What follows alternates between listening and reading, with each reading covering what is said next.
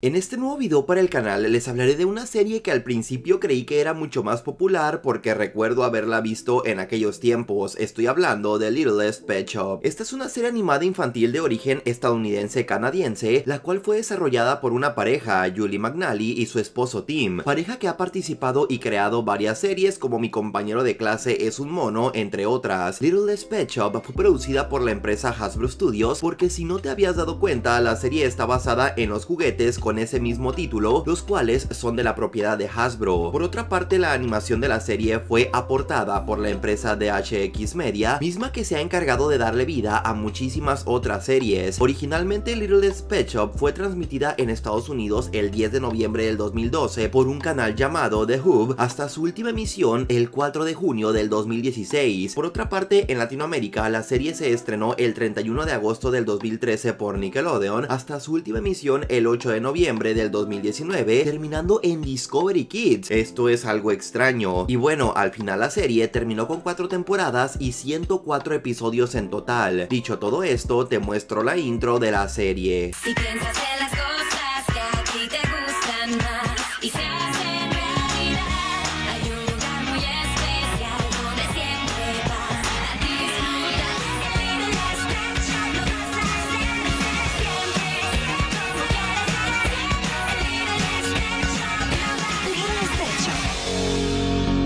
ya que estamos con los videos, también te muestro la promo que Nick le dedicó.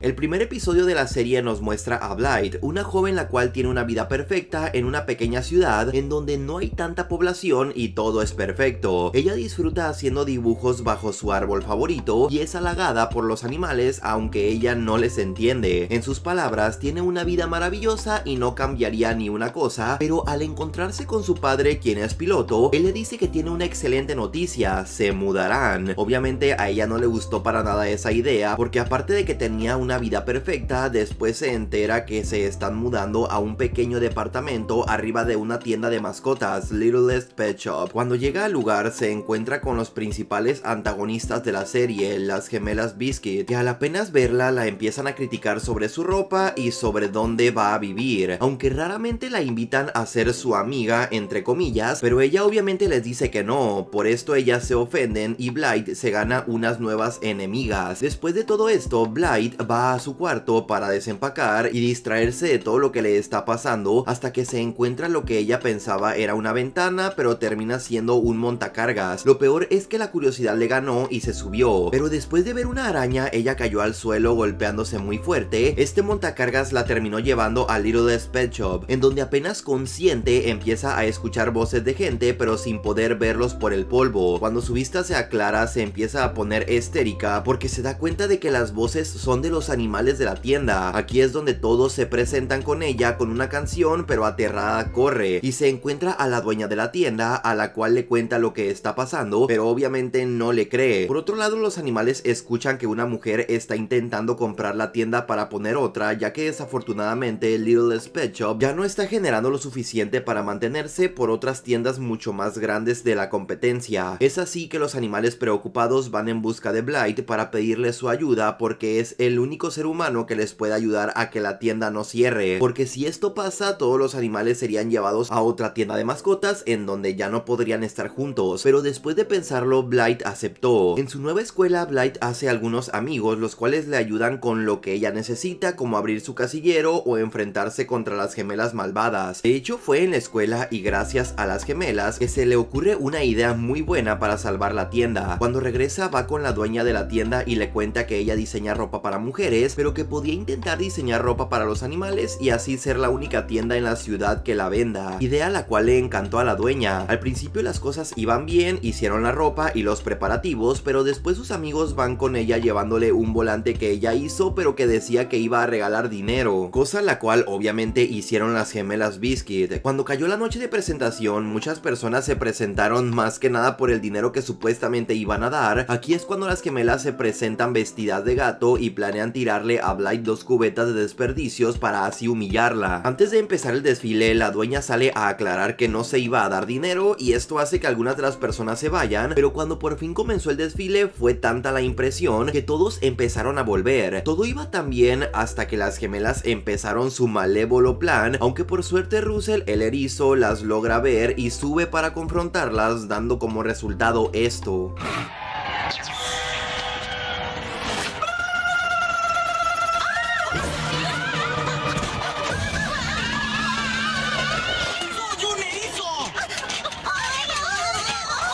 Muy cerca.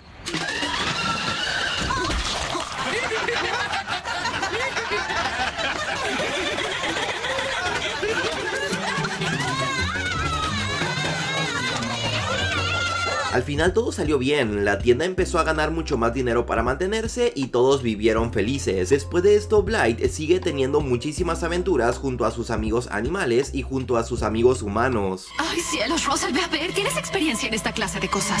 ¿La tengo? Russell, ve, por favor. Bueno, bueno. ¿Mm? Se ve muy resistente. ¿Eres un puercoespín? Erizo en realidad. Todos cometen ese error. Espera. ¿Dijiste que puedes entendernos? Déjame hacer esto, Russell.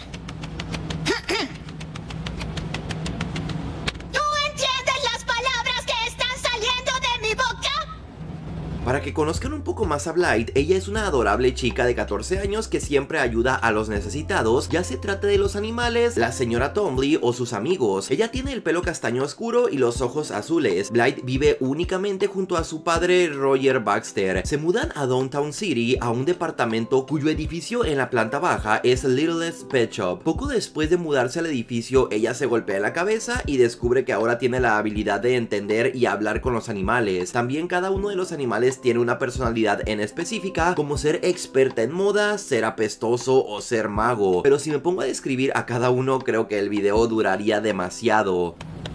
¡Ay, desorden, desorden, desorden! Las camas ordenadas aseguran una siesta de calidad. Ese es mi lema. Sí, tal vez necesite un mejor lema.